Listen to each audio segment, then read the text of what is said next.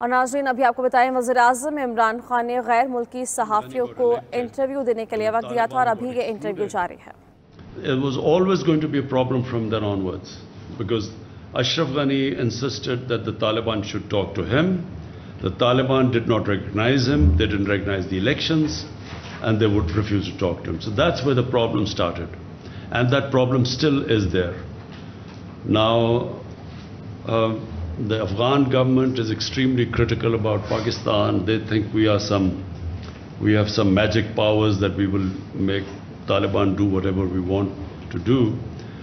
Uh, they don't realize that um, uh, that the Taliban, the moment the Americans started drawing down their troops, and especially when they gave an exit, from then onwards, our leverage on Taliban was minuscule, diminished, because the Taliban thought they had won the war. They, they had won the war by not losing to the Americans. And in their mind, that once the Americans left, then, um, you know, then they had won. So to try and persuade them when there was a when a time was given for exiting Afghanistan by Americans, it became extremely difficult to try and persuade them. And Afghan government, unfortunately, is now blaming Pakistan for what is happening there. They somehow think that Pakistan has supernatural powers. We are a superpower plus, which can, um, you know, which has such power that 70, 60, 70,000 Taliban can take on 300,000 Afghan government troops with, with air, aircrafts and with uh, modern weapons, and somehow, you know, we have that power to make them win. So uh, the Afghan come, and the other reason is Afghan government, I think, right now from what I can see, they are blaming Pakistan as well as they are now trying everything to somehow get the Americans back into Afghanistan. You know, the whole posturing right now is that the, they're blaming the Americans for this debacle, Pakistan and the Americans. And they're trying to somehow uh, persuade the Americans to actually intervene. And there, there are listeners in the American uh, uh, political system who, who are listening to the supported the NATO troops. They are at risk, and somehow they want the Americans to again intervene. But this is, uh, you know, uh, they've been there for 20 years. What will they do now which they didn't do in 20 years? So it's a, it's a, so this is the situation right now. You asked me a question uh, about us being worried. We are worried because the direct impact of this descending into a prolonged civil war. This is what we think will happen. It will be a prolonged, protracted civil war. And the, the country that will be most affected after Afghanistan will be Pakistan. We will be affected, number one, that uh, more Pashtuns are in Pakistan than in Afghanistan. Taliban is bas- uh, basically a Pashtun movement, so it will flow into our Pashtun areas. And, you know, it happened in, two, after 2003, 4, it happened that our Pashtun areas uh, reacted to what was happening in Afghanistan, and Pakistan lost 70,000 people in that because we supported the Americans. And so there's a likelihood that again in our Pashtun areas we will have problems. So that's number one. And then having lost 70,000 people and 100, over 100 billion dollars lost to the economy, half of our tribal area people were internally displaced. About 3 million people were internally displaced. So, so that's number one worry. Number two is refugees. We already have 3 million refugees in Pakistan, Afghan refugees. 3 million registered. We think there are over about 500,000 more than that. So last thing we want, our economy is just recovering. We do not want another um, inflow of refugees. And number three is that, you know, we have now great plans of uh, uh, our connectivity right into Central Asia through Afghanistan. This, I just went to uh, Tashkent with, to um, uh, work on this uh, railway from, uh, from, railway. trans, from Uzbekistan connecting through Afghanistan through Mazar Sharif and into Pakistan, which would connect this whole area. So this is our uh, future, you know, it's uh, geoeconomics. And we are worried that if there is a civil war in Afghanistan, this whole uh, economic agenda of connectivity with, with uh, Central Asia goes out of the window. So that's our worry. Sir, uh, in case of the Taliban takeover of Kabul, what will be the government's policy? Will you close the border or cut relations with Afghanistan? What will happen, I can't say. But what Pakistan wants is Pakistan will deal with any government that is uh, that is uh, uh, elected or selected by the people of Afghanistan. So whoever Afghanistan, people of Afghanistan, the government they, they, they feel represents them, Pakistan will work with them, whichever that government is. What would the Taliban takeover mean for Pakistan? Taliban takeover depends what sort of a Taliban takeover it is. If it is a Taliban takeover which becomes inclusive, with other players and, you know, uh, it includes, you know, it, it will be um, the best thing for, for, for, for Afghanistan if, if it is an inclusive government. But if it is, um, you know, exclusive government with uh, fighting going all, all over Afghanistan, we believe that, that if the Taliban try and form an exclusive government through military takeover, this will mean a protracted civil war. And that is, as I said, a nightmare scenario for Pakistan. So there is, uh, it seems, even though everyone's gathered in Doha uh, today, I believe there's a Troika meeting as well, uh, it seems like there's a last-ditch effort to come to some sort of solution. Uh, uh, do you think there's lots of uh, suggestions as to how this could move forward? The Taliban have one suggestion too, which is that Ashraf Ghani should step aside. Uh, if it means, given how much Pakistan has at stake, would you would you support such a move? I mean, if if if, if it comes to this consensus that an elected president should step aside. Um, number one, at, at, the, at the moment, the top priority should be a ceasefire because obviously civilians are affected and civilians will get more and more affected as this, uh, this fighting rages uh, and gets into the main cities, once the fighting gets into the main cities, then there will be heavy civilian casualties. So therefore, at all costs, there should be a ceasefire. Now, what would it take for a ceasefire? Uh, and that's what the Doha talks are all about. So, you know, I'm, uh, I'm not a big one into military solutions. I believe that, you know, as a politician, we always should look for a political settlement. Now, you know, let's hope that there is, um, there is some sort of a political settlement, but that will only happen if Taliban realize that they cannot take over the whole of Afghanistan through military means. And uh, the, the, the government side realizes that they do have to give to come to this ceasefire. So they will also have to make uh, compromises.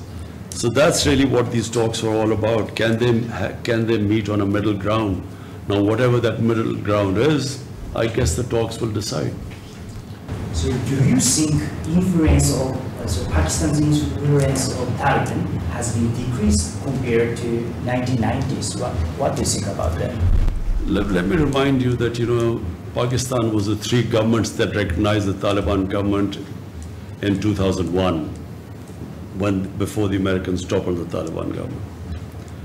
And probably Pakistan was the most influential government.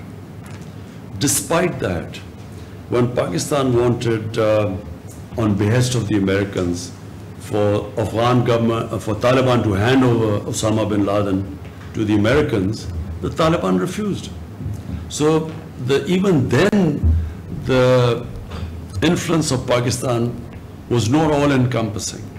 But let me just say one thing as a student of history and especially of uh, Afghan history, anyone who thinks that Afghanistan can be controlled from outside does not understand the character of the Afghan people. Throughout their history, they have never accepted outside, uh, outside uh, control. take the first, uh, the three of the British Afghan wars, which happened, there were three. Then the Russians, it was a, everyone knows the Russian history. And now this recent 20-year-old American uh, misadventure. So if you look at all of them, uh, one thing comes out that the Afghan people of Afghanistan do not, they cannot be made puppets.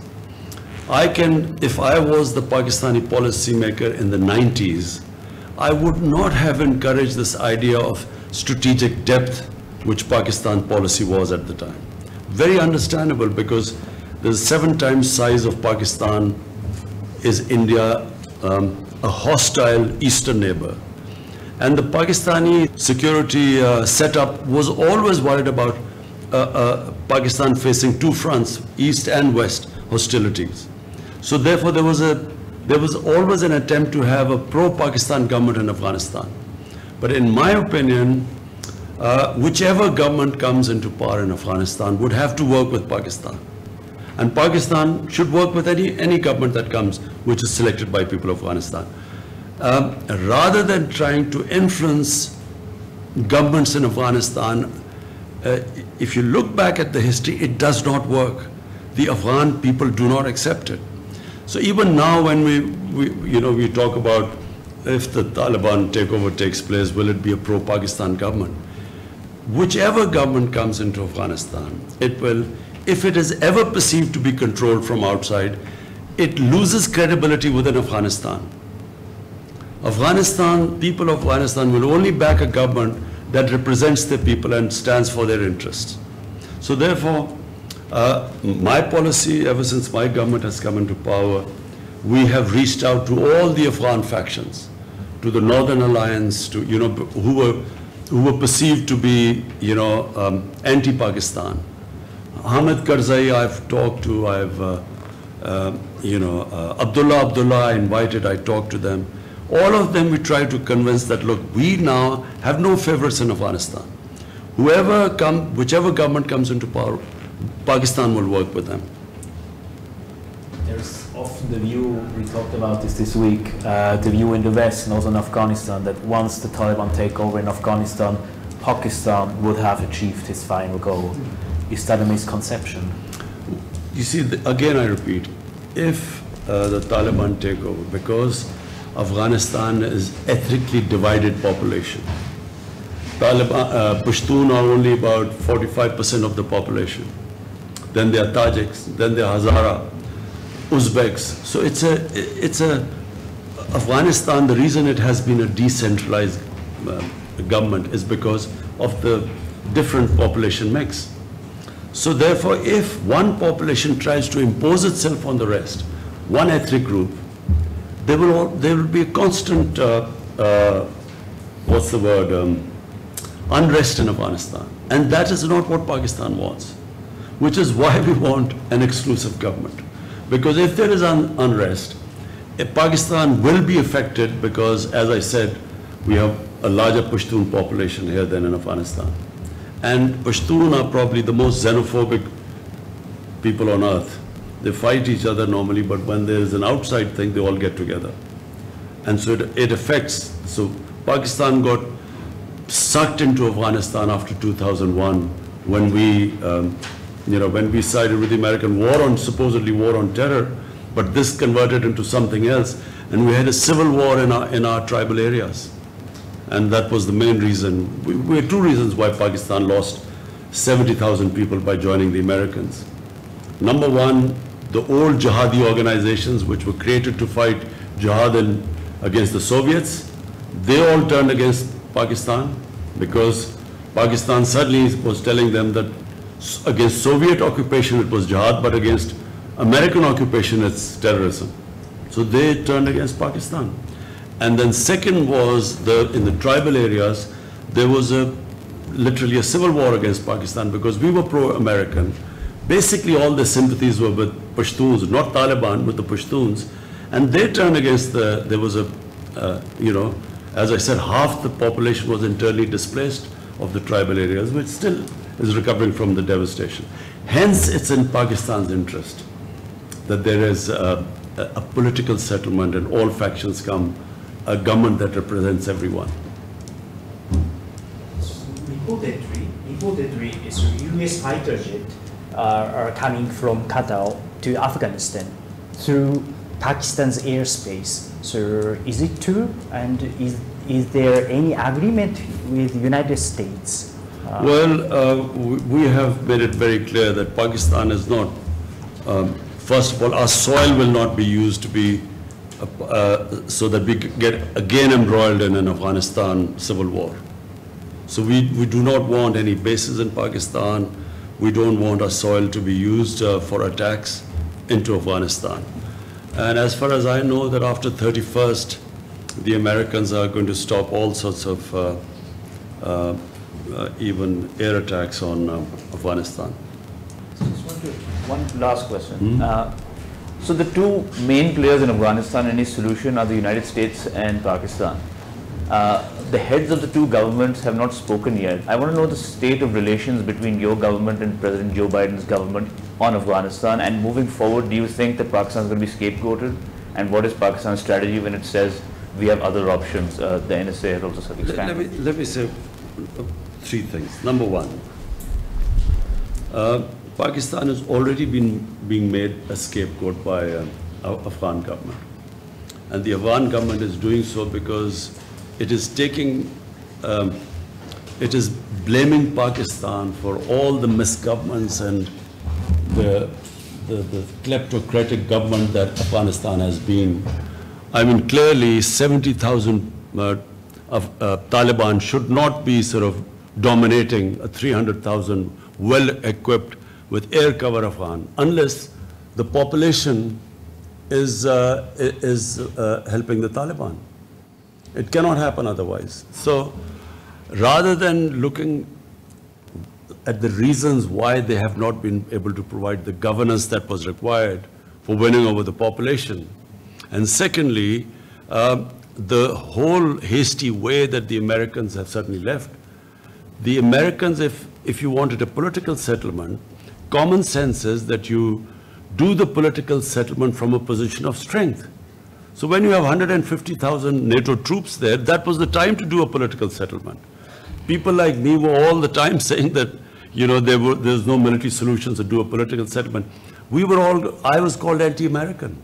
I was called Taliban Khan because of that. And people like us were sort of sidelined for even saying, talking about a political settlement.